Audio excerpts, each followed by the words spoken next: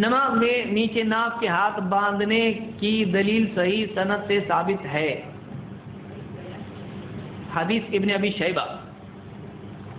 मुसनफ इब्न अबी शैबा में बाज़ लोगों ने लिखा है कि नाक के नीचे हाथ बांधने की भी एक हदीस है, जो वायल इब्न हजर रदी अल्लाह तु से है।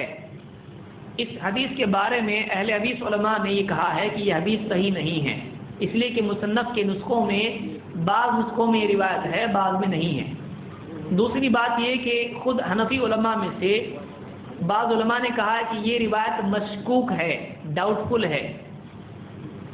तो खुद हनफी उलमा ने इस बात को कहा है। और ये जो ज़्यादती है, जो नाफ के नीचे की है इस रिवायत में, दसवीं हिजरी में, यानी अल्लाह के नबी वसल्लम के तकरीबन एक हज़ार बाद लोगों ने बयान की है इससे पहले के ने इसको बयान ही नहीं किया है। हालाँकि वो लोग मुसनफ़ इबन अबी शैबा में से बयान करते थे।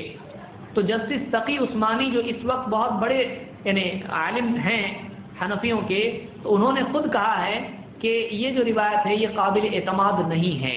तो यानी खुद हनफी आलिम कह रहे हैं कि ये काबिल अतमाद नहीं है। तो उन पर भरोसा कम से कम करना चाहिए।